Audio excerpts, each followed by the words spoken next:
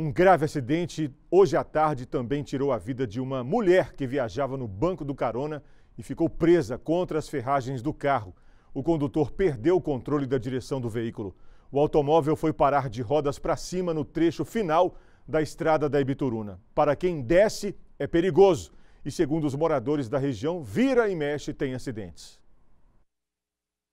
Segundo este morador, foi o estrondo da batida que o tirou de casa para ver o que aconteceu no trecho da estrada de acesso ao pico da Ibituruna. O autônomo ajudou a resgatar as primeiras vítimas. Quando eu escutei um barulho, né, em seguida muitas pessoas gritando, aí eu corri para ver o que está acontecendo e encontrei esse carro tombado que bateu no outro veículo e com várias pessoas machucadas aí. E ajudei né, a acalmar as que estavam melhorzinha e tá dessa forma aí que vocês estão vendo. Um dos veículos ficou atravessado e de rodas para cima. O outro carro envolvido na colisão foi removido para o quintal de uma chácara. A ocorrência foi no quilômetro 3 da estrada pavimentada. A informação que os dois condutores seguiam no mesmo sentido e no fim da serra, o de trás teria perdido o controle. Segundo o Corpo de Bombeiros, foram dois veículos envolvidos no acidente. As famílias voltavam de um passeio do Pico da Ibituruna.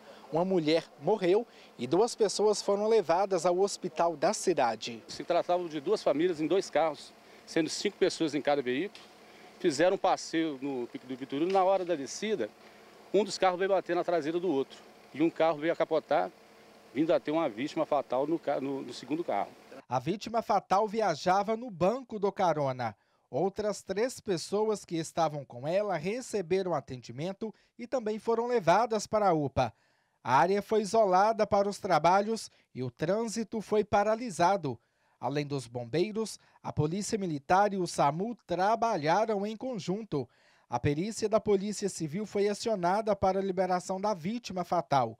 Moradores disseram que outros acidentes já foram registrados no local. Poucos dias, aquele poste ali mesmo, no mesmo rumo ali, ó, aquele poste foi quebrado, a Toyota tombou ali e vira e mexe acontece um acidente aqui. O sargento do Corpo de Bombeiros fez o lembrete para quem passa pela estrada diariamente. O que eu tenho a dizer é que toda pessoa que for subir a Bituruna, que fazer uma manutenção no carro antes de subir a Bituruna, porque ajuda muito né, para evitar esses acidentes aí, que são corriqueiros.